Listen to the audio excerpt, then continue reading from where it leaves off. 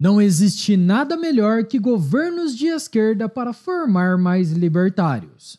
Este é o Visão Libertária, sua fonte de informações descentralizadas e distribuídas. Ajude a propagar as ideias de liberdade, deixe seu like e compartilhe com seus amigos. No dia 12 de junho comemora-se no Brasil o Dia dos Namorados. O clima de felicidade foi sentido por muitos casais, contudo, não para o governo do amor. A Semana dos Namorados de 2024 tem sido até o momento uma das piores para o atual governo. Foram inúmeras notícias ruins e derrotas para o governo Lula e sua gestão desastrosa. A alta da inflação no mês de maio, a devolução parcial da medida provisória que limita a compensação de piscofins, a anulação do leilão para a compra de arroz devido a irregularidades, a alta do dólar ultrapassando R$ 5,40, o ministro das Comunicações sendo indiciado pela Polícia Federal por diversos crimes e o TCU apontando distorções contábeis nas contas do governo Lula em 2023. Foi um verdadeiro bombardeio de más notícias para o governo. A inflação brasileira, medida pelo IPCA, saltou para 0,46% em maio, impulsionada pela alta dos alimentos e das bebidas. O resultado veio acima do esperado pelo mercado financeiro, que previa não mais que 0,42% para o período. A medida provisória que limita créditos de PIS e COFINS foi parcialmente devolvida ao governo. A MP afeta a sistemática de não cumulatividade do PIS e COFINS. Como o imposto não acumula ao longo da cadeia de produção, o contribuinte abate o valor das operações anteriores ao recolher o tributo. Atualmente, esses créditos acumulados são usados pelas empresas para compensar outros tipos de impostos. Além disso, há companhias que acumulam créditos suficientes para se isentar do pagamento do PIS/COFINS. Outras recebem dinheiro em forma de créditos presumidos, uma espécie de benefício fiscal para incentivar algumas atividades. Contudo, a MP visava limitar o uso desses créditos somente com o PIS/COFINS e não com outros tributos. A medida ainda amplia a vedação de recebimento em dinheiro de crédito, que era possível em alguns casos. Porém, o direito ao crédito presumido permanece, mas só poderá ser utilizado se houver imposto a ser pago pelo contribuinte. A MP também revoga trechos de diversas leis que tratam da compensação em setores como os de medicamentos, combustíveis e agronegócio. As empresas criticaram a medida, informando que ela aumenta os custos operacionais, considerando que algumas não poderão mais usar todos os créditos acumulados. Não à toa, tivemos o aumento da gasolina e a China comprando 200 mil toneladas de soja dos Estados Unidos, porque a daqui ficou mais cara, assim que a MP foi publicada.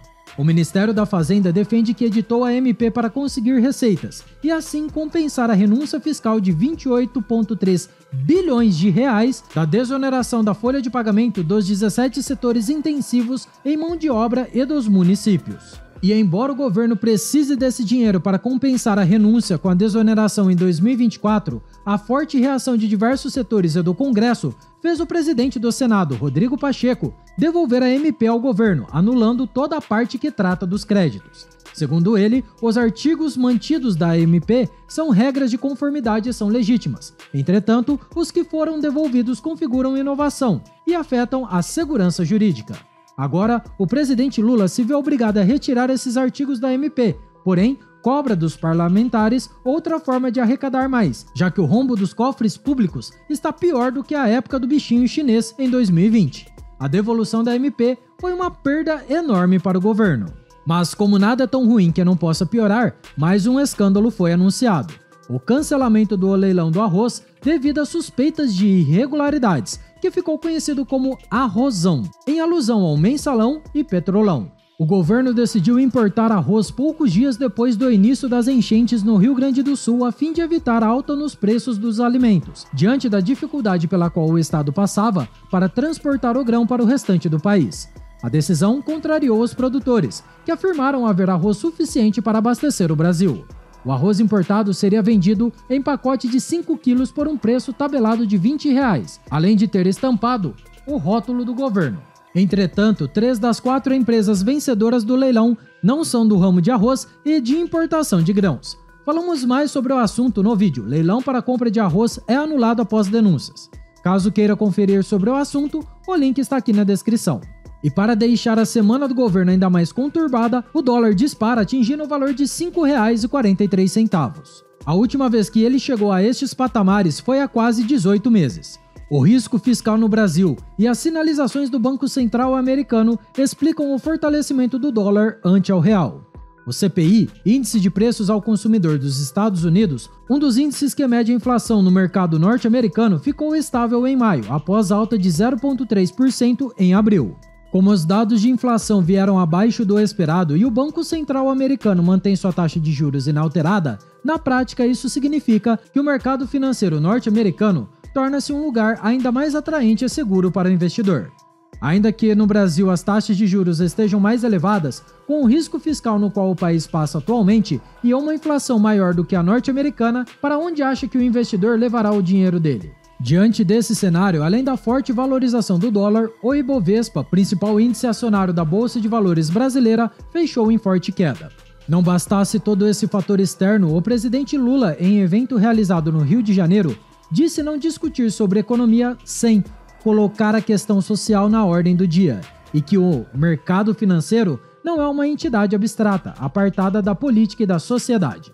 A Faria Lima interpretou esse discurso como se não houvesse interesse por parte do presidente Lula em cortar gastos para manter o equilíbrio fiscal ou taxas de juros altas para tentar conter a inflação. Na verdade, o que importa é arrecadar cada vez mais. No entanto, sabemos bem para onde vai boa parte desse dinheiro arrecadado, não é mesmo? Diante dos fatores externos mencionados e de um governo que só pensa em arrecadar e gastar sem se preocupar com o equilíbrio fiscal, o real é uma das 10 moedas que mais perderam valor frente ao dólar este ano. A próxima bomba que caiu no colo do governo foi a Polícia Federal indiciando o ministro das Comunicações por corrupção e organização criminosa. Juscelino Filho foi indiciado por ao menos seis crimes devido à suspeita de desvio de recursos públicos destinados a obras de pavimentação. Entre os crimes apontados pela PF estão os de falsidade ideológica, corrupção passiva e integrar organização criminosa. Mas ministros do atual governo envolvidos em corrupção não são novidade.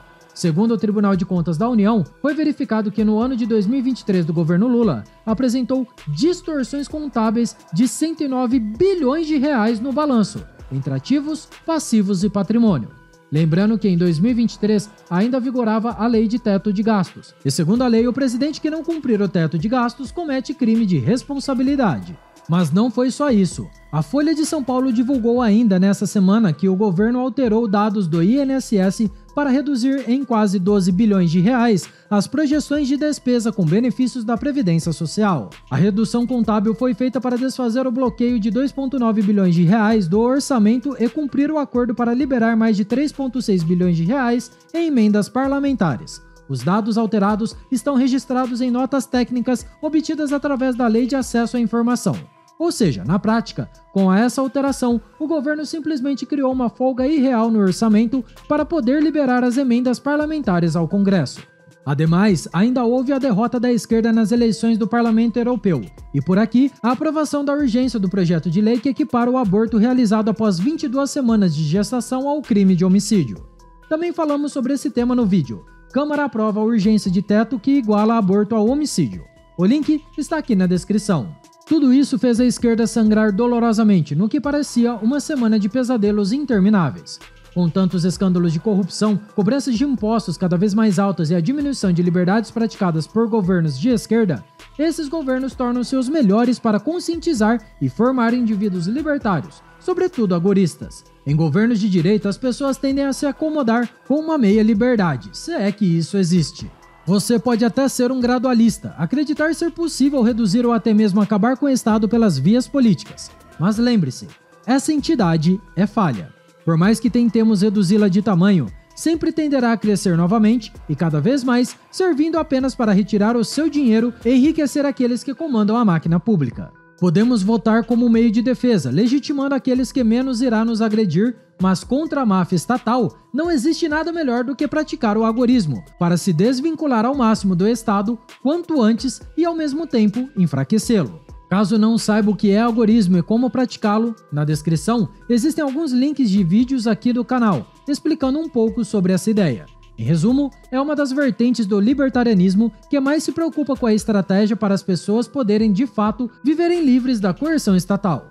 Tendo em vista que o Estado é a maior instituição agressora da história, é válido questionarmos sobre o que faremos para evitar a intervenção dele em nossas vidas e de que forma podemos combatê-lo. Enfim, Essas foram algumas notícias maravilhosas para os defensores da liberdade. Isso não quer dizer que a guerra está ganha, apenas que algumas batalhas foram contabilizadas para o nosso lado. Temos que manter a vigilância, enquanto usamos efetivamente o algoritmo para manter o governo longe de nossas vidas. Obrigado pela audiência. Esse artigo foi escrito por Bruno SZ, revisado e narrado por Coreia com K. Esse é um canal colaborativo. O artigo seu pode virar vídeo aqui também, sabia? Basta se cadastrar no site visãolibertaria.com e enviar seus artigos por lá. Não deixe de se inscrever no canal e clicar no botão da campainha para ser avisado de novos vídeos. Até a próxima, fiquem com Deus e tchau, obrigado!